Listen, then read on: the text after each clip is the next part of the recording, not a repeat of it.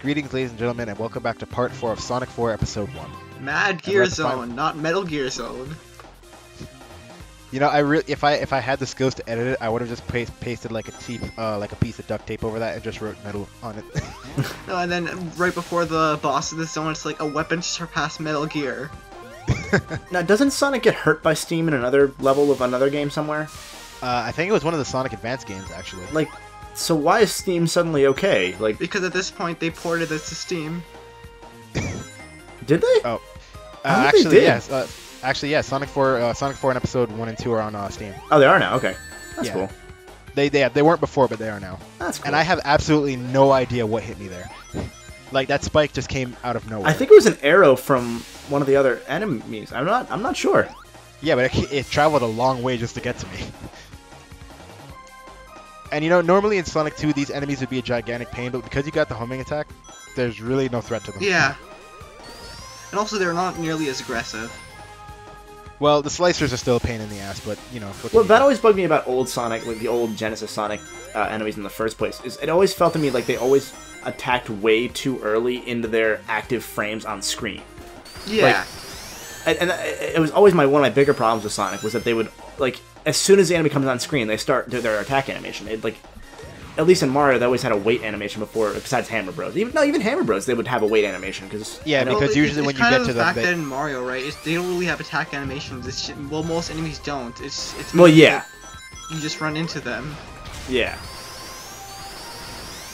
But I think it's more of an issue in a game like Sonic because it's about about speed. It's about going yeah. fast. Like if you you're supposed to go fast, then don't make the enemies like hit you and possibly kill you for going fast. It, it's always been mixed signals with Sonic, and that's always been my biggest problem with the whole series. Like, doesn't matter what And- game it is.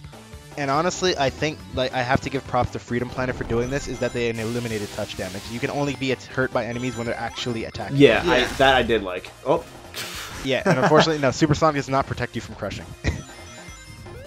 you can still get flattened, so be wary of that. but yeah, You know, Freedom Planet did a good job with that. I'm not gonna lie. Yeah. Freedom Planet, the best Sonic game since Sonic 3. The best Sonic games to have come out recently, minus Sonic Generations and Sonic Colors, were uh, Freedom Planet, Sonic before the sequel, and Sonic after the sequel. Yeah. By the way, Jerome, if you're watching this in the future, you were supposed to record Freedom Planet a long time ago. What the fuck happened? Life. Yeah, life. I, I, I really did enjoy Freedom Planet for what it was. I know my buddy, he really, really didn't like it, but I I really enjoyed it outside of the final boss. I did not. I I have mixed opinions on the final boss. I like it because it's challenging, but at the same time, it's kind of bullshit. I mean, like, if you get hit once, you're dead, pretty much. Like, I think it's Yeah. a two-hit kill, which always bugged the hell out of me. I, I don't think I actually officially beat that game. I beat it after after a lot of trial and error. I think I just gave up because I was like, you know what? I have much better stuff to do with my time than this. So I just said, all right, I beat it. Good enough.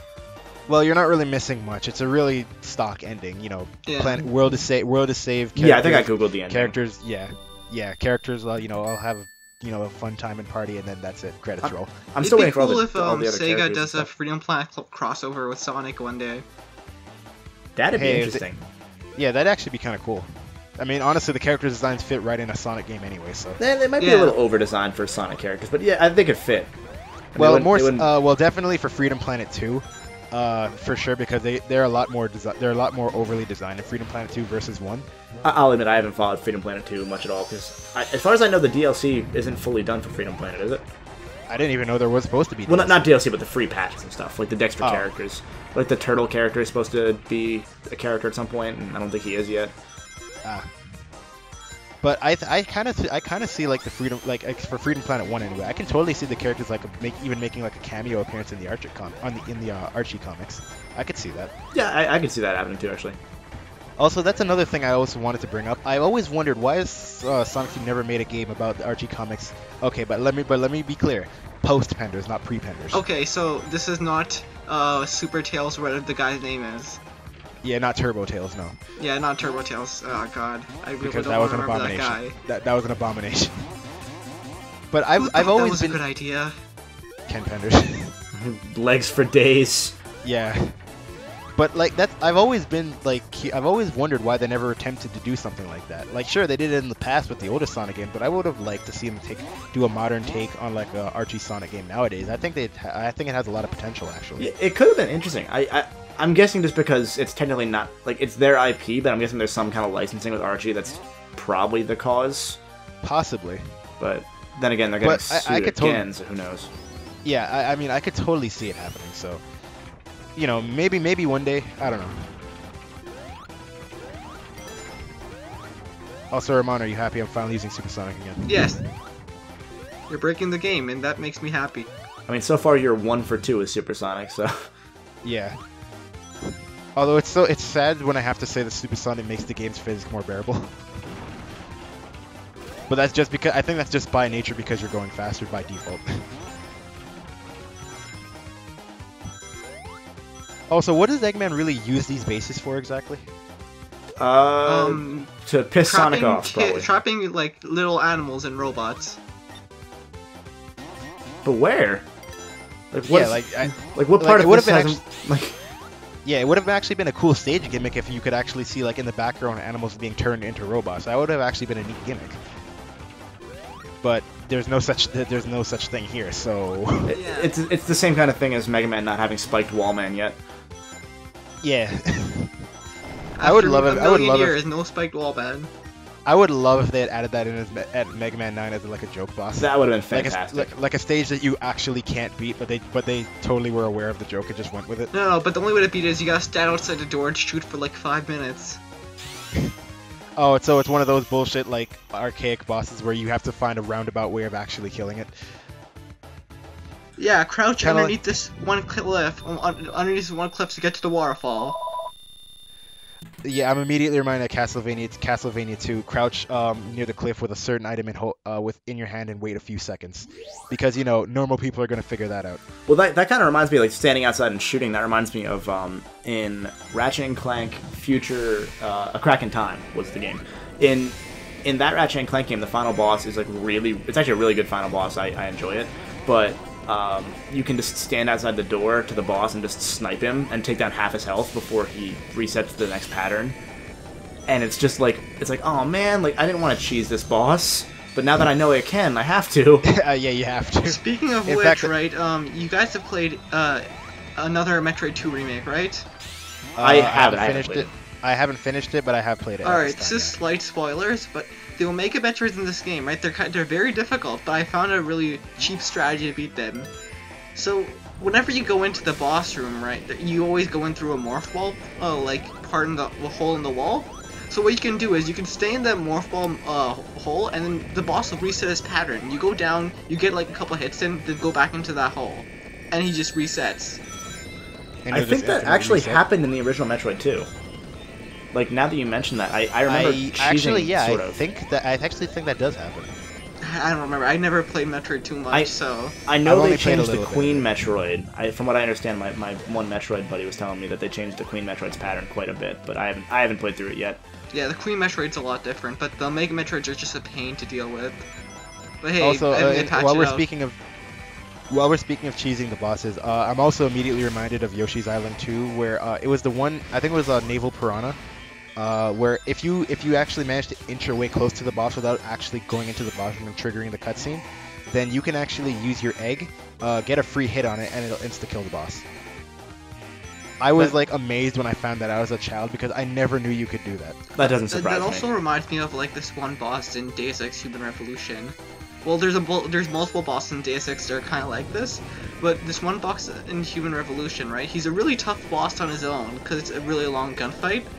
But if you there's there was a glitch before where pretty much you when he's jumping over like a ledge when he's vaulting over something, you could punch him and he's insta killed. Wait, so when he's vaulting over a ledge, you just punch him and he just instantly dies? Yeah, because normally, right, you can you can't do a punch animation like while they're like while while they're on the ground or anything because they'll just punch you back while in the middle of the punch animation and you'll lose health.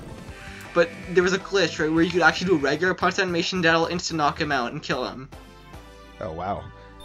So yeah, that was it, they, they thankfully patched that.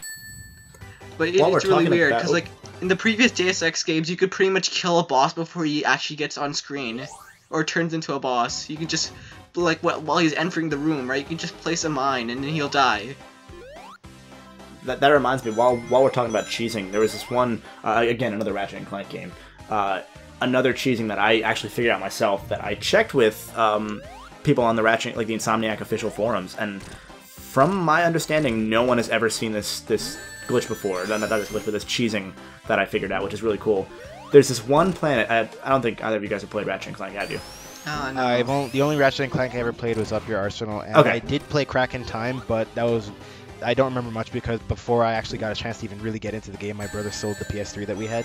Oh, okay. So Yeah, in, in the first game, it's it's a really in, it's hard to explain, but there's this one level where uh, you to get to the end of like the, the end of the level's in sight, but there's like this little gate, and you have to hit the button on the gate on the other side of the gate to open it up. Uh, but the gate's not blocked by like anything like physical; it's blocked by like four lasers or whatever horizontally going across like the gate. And uh, I figured out there's this one gun called the Visibomb where you can just straight up uh, shoot a guided missile and if you shoot the guided missile at the right angle, there's a, there's a stack of boxes behind it, so you can aim it right. You can actually hit with the explosion frames the switch. So you can skip the whole level, and it's one of the hardest levels in the game. oh wow, Uh, so I I was like, wow, that's it was shot in the dark, but it worked. And then uh, I mentioned, like I said, I don't. As far as people could tell, I was the first person to think of it. I think I showed it in my review. Um, that that that's gonna, if people when people uh, when that becomes more of a widespread trick, that's gonna really help speedruns. well, speedruns are Yeah. speedruns are. I think they skipped that planet entirely somehow. So I don't think so. Oh okay, well maybe not, but Or maybe Um, for 100% speedruns. Yeah, uh, for 100% speedruns, I'm, I'm sure because I know in um, the, the to get to the end of the level or to get to the next level's end, you have to get this thing called the Hologuise. It's just a thing that turns you into a different type of. It turns you into a robot, pretty much, like visually, and that's how you break into like this robot in like base or whatever. And um, I guess somebody found a way to cheese through where they could skip the entire stealth section where you needed that item and get to the end. I don't know how, but I'm pretty sure it involved a lot of clipping. Like that, ga- those games are held together by glue and spit. I swear to you, like it's nuts. I, there's there's another um, commentary channel actually. They do commentaries of uh, Ratchet and Clank games. It's two guys who used to work on Ratchet and Clank games, and they talk about like all this stuff that like how the PS3 ports of the games are really really buggy. And they talk about how, like, why that happened because apparently, when you make PS3 ports of PS2 games, Sony doesn't let you make changes. So you just have to port the code as it is. oh that's that's an odd thing to and- not let developers do. Yeah, and in, in, Up Your Arsenal, um, I don't know how. Did you beat Up Your Arsenal? Uh no, I never beat it. I, I got close, but I never went to, all the way to the end.